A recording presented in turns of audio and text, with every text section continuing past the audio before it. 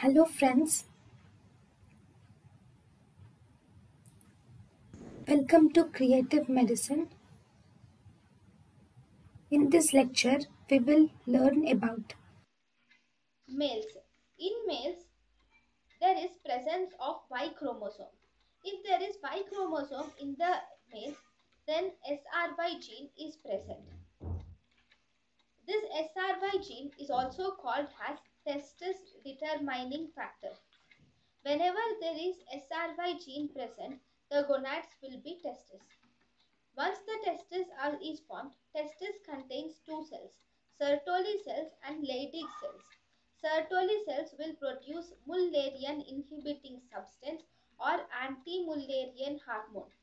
This Sertoli cells contains this Mullerian inhibiting substance or anti-Mullerian hormone at 7 weeks and this hormone will act locally and inhibits the ipsilateral Mullerian duct formation.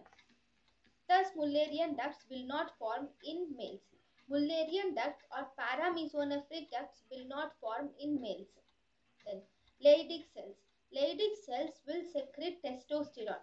Secretion of testosterone by the Leydig cells begins at 8 weeks. The secretion reaches maximum at 15 to 18 weeks.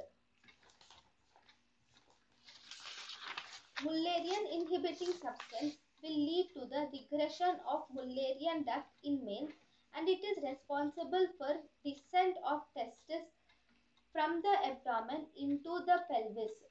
This is called as abdominal descent.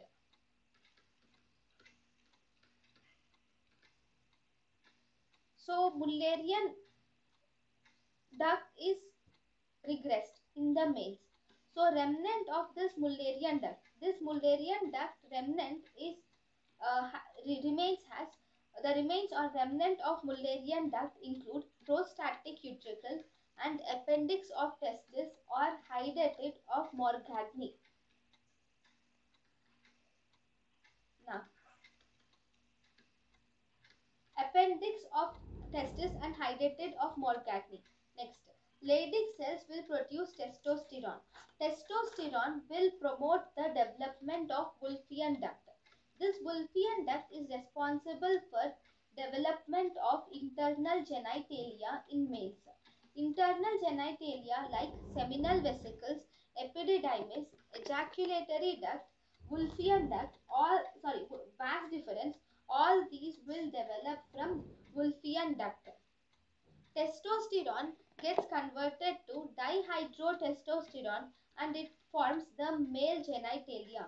Testosterone is also responsible for scrotal descent of testis.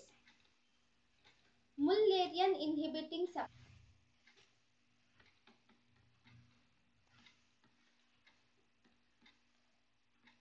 Mullerian inhibiting substance is required for uh,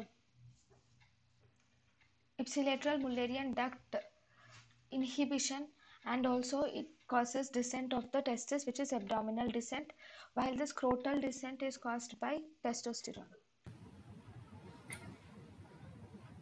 Thank you and thank you for watching.